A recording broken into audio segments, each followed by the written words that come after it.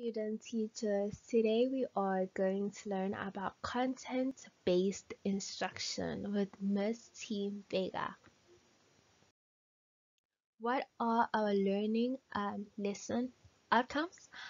First would be to determine what is content-based instruction, evaluate uh, its models of content-based instruction, discuss the principles of context-based instruction and determining the usefulness of context-based instruction in um, FAL classrooms.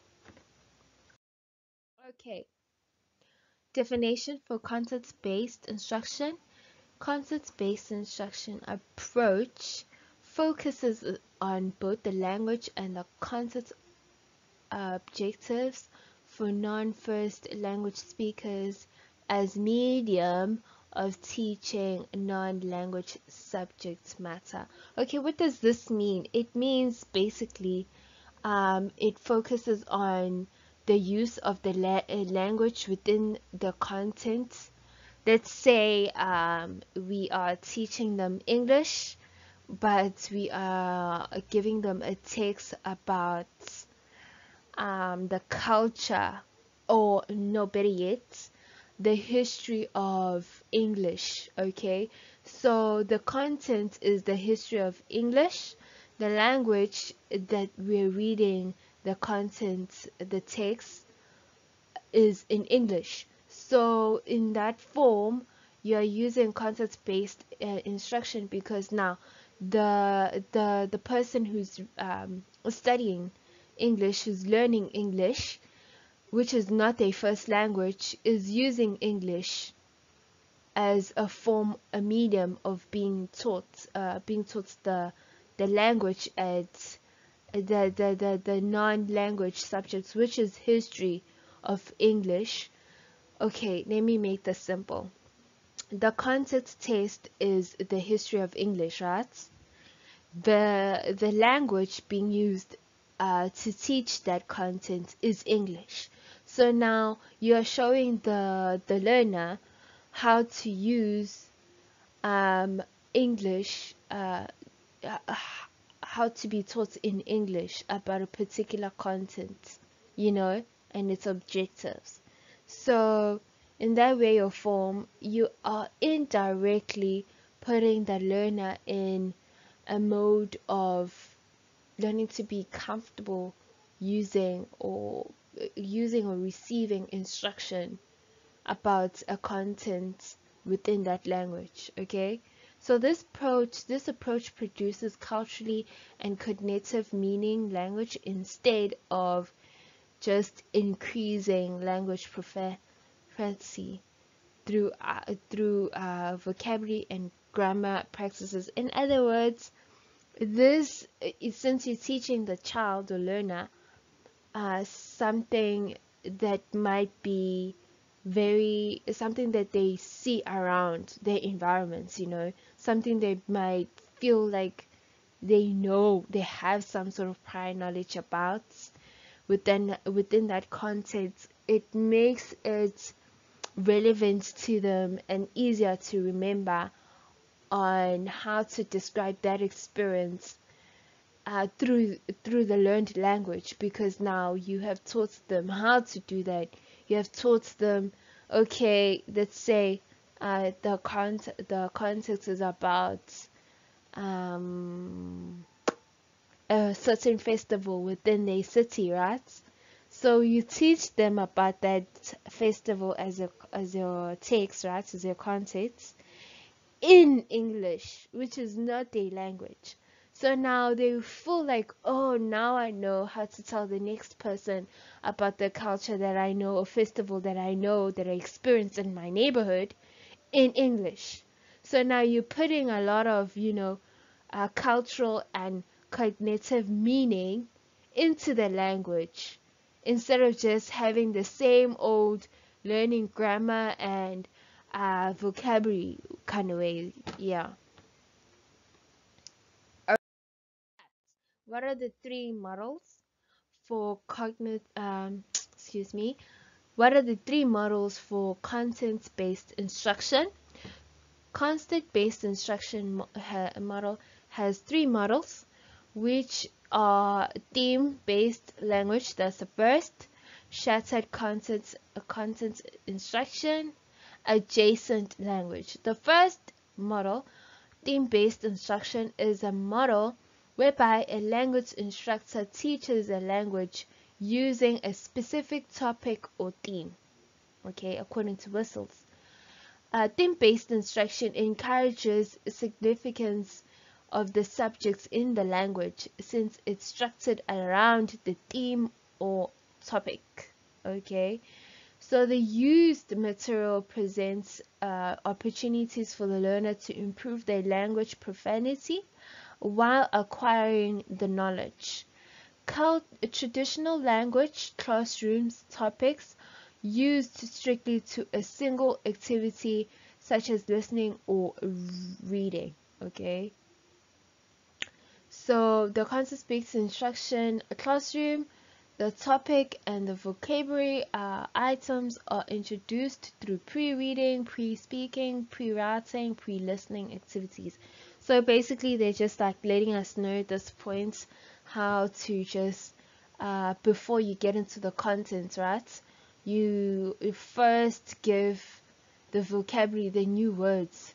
The like let them know the familiar if the like familiarize them with upcoming new uh, words you know if it was um, a lesson pre-lesson you will learn in the, in the next video about pre-listening activities. Uh, for pre-listening, there's a technique called shadowing. Shadowing is when it's a technique when if you're reading a book for learners, a story, as a text to text them uh, later on with to teach them a language.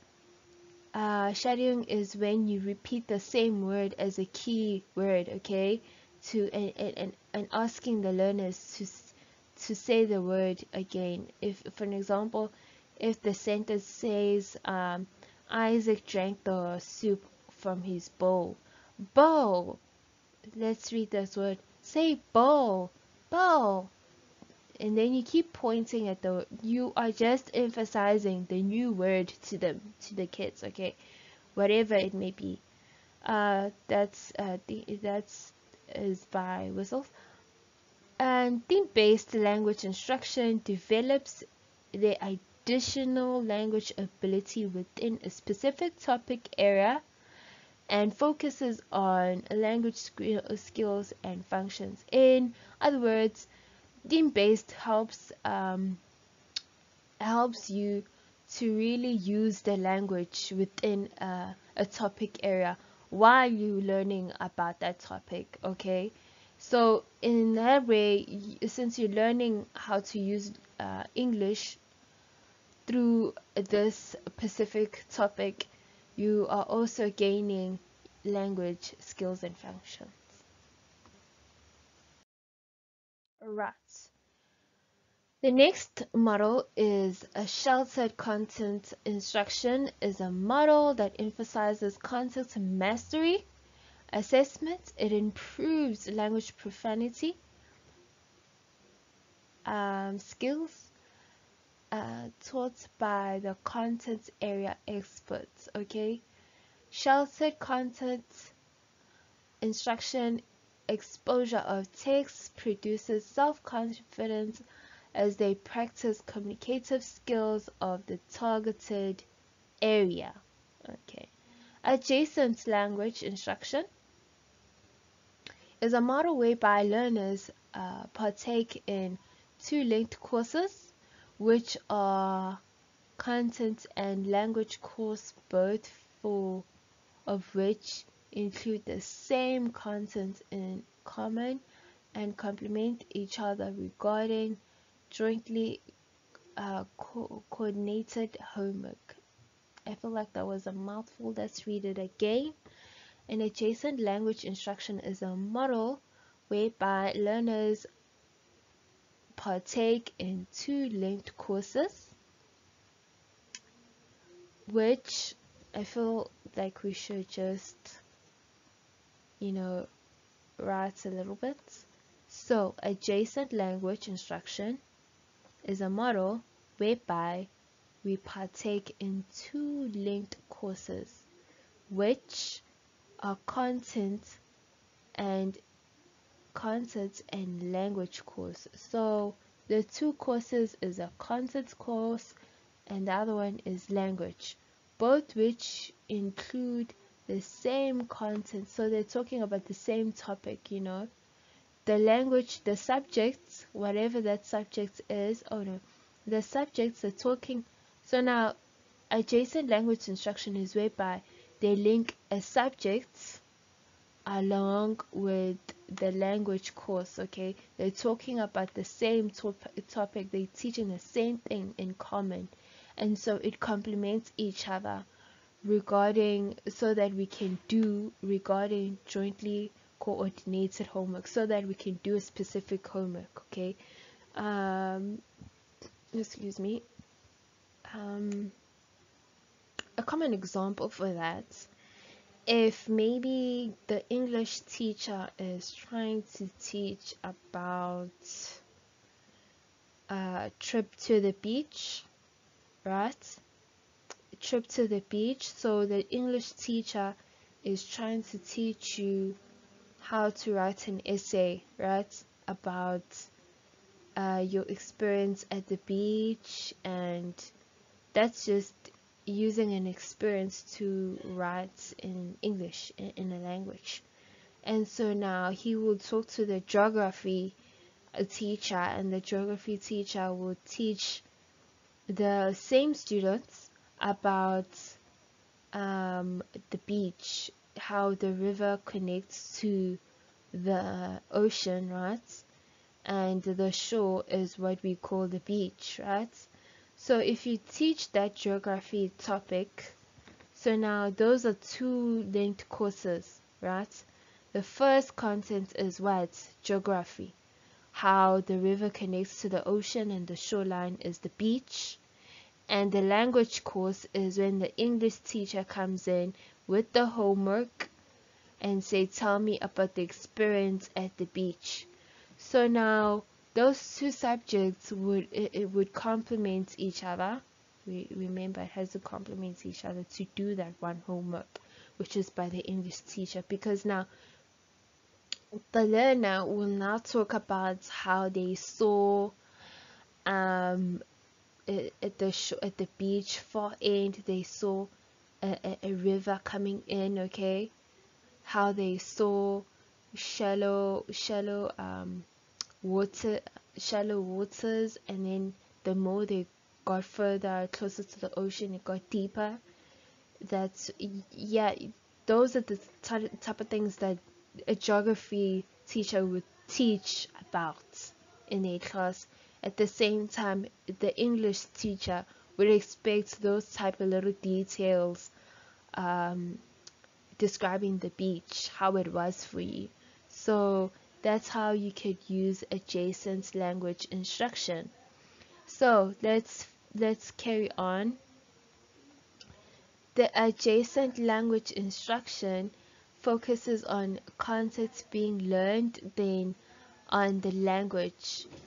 The exposure of the exposure um, amount of language while learning content. Well, I, let's read that again the exposure amounts of a language while learning a content are taught useful language found in relevant discourse content instead of isolating language fragments basically they are repeating the same thing here that sometimes you this adjacent languages does not only just focus on learning the language but it uses the content to teach the language and really using the amount of language in the learning content is useful to to learn uh, the, the, the, the language itself instead of um, learning fragments of the language so in other words adjacent language uses in almost the same as theme uh, theme based, but it's not because it's intertwined. They work together. Okay, they work together for one assessment. So instead of just learning fragments, parts of a language, they use a content. They use how what it's learned in the content useful in learning the language. Okay, so all the mod models emphasize that language can be effectively learned in meaning, purposefully, social, and academic concepts and the concepts learning can be used um, as basis of learning language. Uh, that's what they have in co common as a whole, all the models. And the language is used as a medium of learning content, which can lead to acquiring competency naturally. Principles of content-based instruction. Now, the principles of content-based instruction state that a subject matter aimed to be used in a language teaching purpose. Let's repeat that. Principles of content-based instruction state that a subject matter aims to be used in a language teaching purpose. Okay. The teacher should build a learner's prior knowledge uh, while relating the concepts to their experiences, motivating the learners to learn more about the language. Scaffolding learners' knowledge through language conversational exercises to practice utterance encourages them to research what they meant to say and it it helps them gain communicative competence. Okay that's a good point. Now the targeted language is effectively learned as a medium conveying informational concepts context with conceptual clues to give meaning for vocabulary. Basically, what they're saying here, they are saying if you convey the information content uh, content with um, clues of meanings for vocabulary, it really helps you to to acquire the meaning of the language and how to use it within while trying to convey the information content okay? So learners should work with meaningful cognitively demanding language and content uh, within the concept of authentic material and task. Let's repeat that. That was a mouthful so learners should work with meaningful and cognitively demanding language within the content as authentic material and task. That means that learners should be always encouraged to um, work with something that they might relate to so that as as they try to describe that experience they once had themselves in another language it really uh, pushes them to perfect the language enough in a, a language enough so that they can describe what they are trying to uh, talk about which is the content at hand.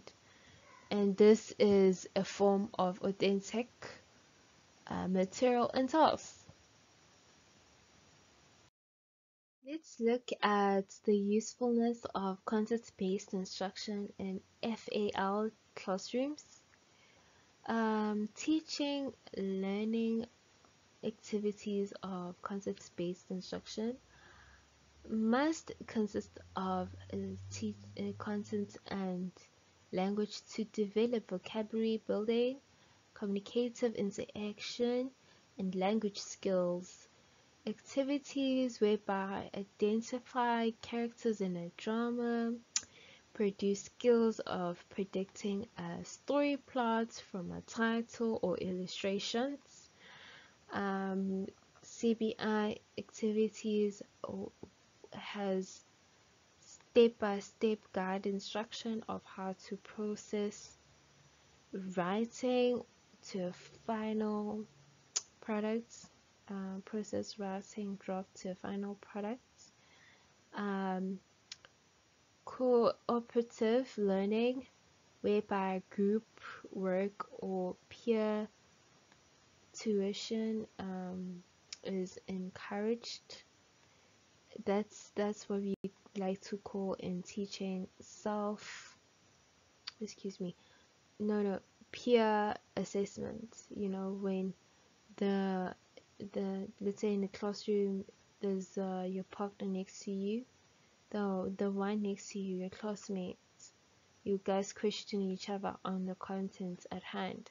So that's cooperative learning whereby it's used in group work or you know peer assessments which is very much encouraged in doing the activities together. Let's say for an example if you guys are practicing greeting one would say hi my name is the other one is oh basic basic greetings. Good morning. How are you? That's still a peer assessment you know. It's practicing communicative interaction.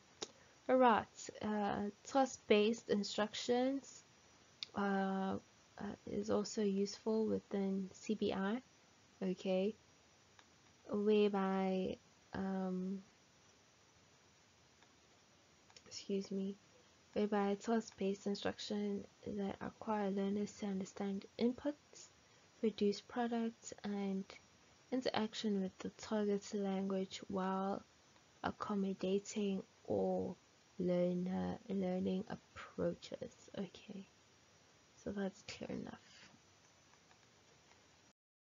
Well Another usefulness of CBI and FAL classrooms is um, that teachers have to play a significant role in taking essential features of CBI and supplying meaningful topics, creating appropriate learning environments for the kids, and really engaging students in a variety of learning activities such as discussions, presentations, and situation-based games to offer multiple opportunities for students to take part and practice English frequently as seen in the study right here.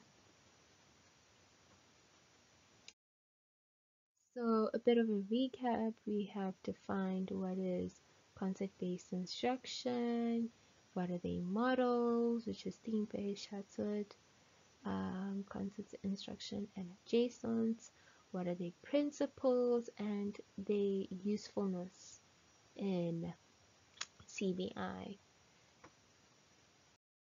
Thank you so much for watching. Please subscribe comment what you wish to see next, what you want to uh, be um, given clarity on within this video and what you would like to see next. Like and keep watching Miss T Mfeka.